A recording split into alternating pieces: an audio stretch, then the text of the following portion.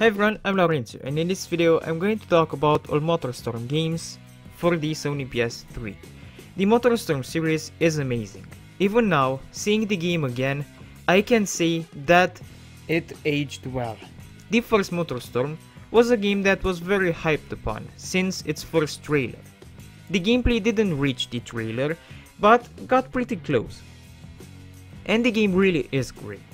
The mud deforms in realistic ways and affects the handling of the vehicles.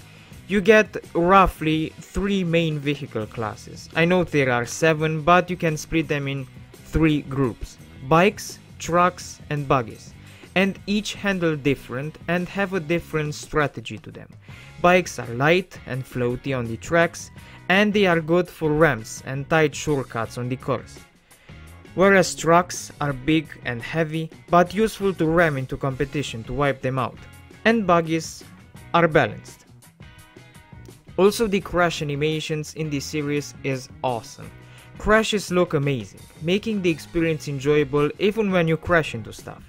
You also get a boost, which are the flames that come from the vehicles, and while what you get is very high quality, the content is a little short the base game has only 8 tracks. There is an expansion pack with 4 more tracks, but many people don't even know about them. And even with 12 tracks, the content still feels like it's too repetitive.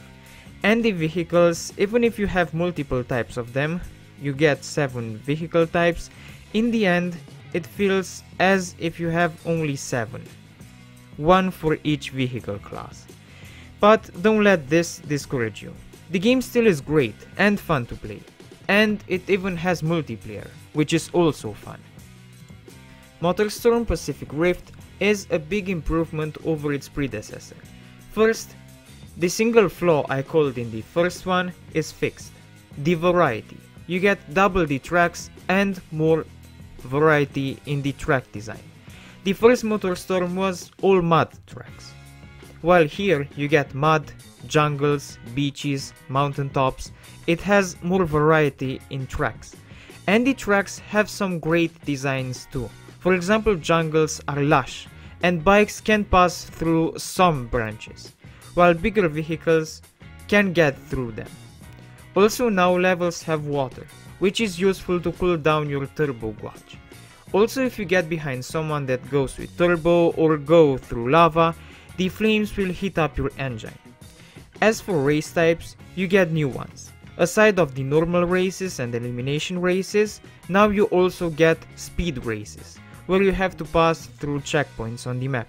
And it's pretty annoying that the checkpoints are too close together and you can't see the next one until you pass through the current one, which makes it difficult to judge where the next checkpoint will be. And since they are so close together, yeah, accidents happen. Also the game introduced a new vehicle type, monster trucks. The game also introduced split screen multiplayer and a photo mode, making the game a big improvement over its predecessor.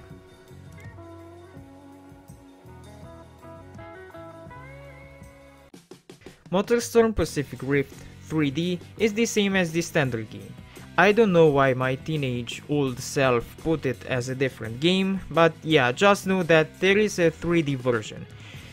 3D version on the PS3 meant that if you had a 3D enabled TV and 3D glasses, you could play the game in 3D. The 3D is the 3D like you see in cinemas with 3D movies. That sort of 3D, not 3D as in the opposite of 2D. MotorStorm Apocalypse is spectacular. It has the usual MotorStorm formula, but this time you race in a city that crumbles. While you race, one lap some buildings, or bridges, or the road crumbles, the next lap something explodes or crumbles, and this adds adrenaline. There's a lot of action going on, and while the action really is epic, if you nail the stunts, most of the time with so much happening on screen you won't know which way to steer or on what to jump, and the competition even slams into you, making it difficult for you to finish the race. But since there are only 9 tracks in the base game and 13 total, if you download all of the extra ones, you learn the cinematics of destruction and you will know that at for example lap 2 that building goes off or in lap 1 that happens and by learning what happens and when it happens you'll know where to steer. But this is a double-edged sword. Because if you know what is going to happen, the game loses this thrill because if you know what is going to happen, the game loses its thrill. Overall, the game is fantastic, and it starts with a Hollywood-like epic action, but the more you play, the less exciting it gets. MotorStorm RC is boring, just like on any platform, no matter that it is a Java game, a GBA game, or a PS3 game in this case, I don't like isometric racing games. They have weird controls and it takes time to get used to them. And if you struggle to get used to the controls, you don't end up having a satisfying gameplay after all that trouble. Because such games usually aren't exciting. And neither is MotorStorm RC. The tracks look bland, the controls are weird until you get used to them, and there's not really much to do in the game. Sure, you have races and some places where you can roam, but overall, the game is boring. It loses everything that the MotorStorm franchise did good until now, and replaces the thrill with lame isometric controlled RC cars. Okay, so this was the video. If you liked it, please hit the like button and subscribe. If you want to financially support me in my pursuit to review as many video games as possible, you can do that on Patreon or on the channel's membership section. You would help me a lot.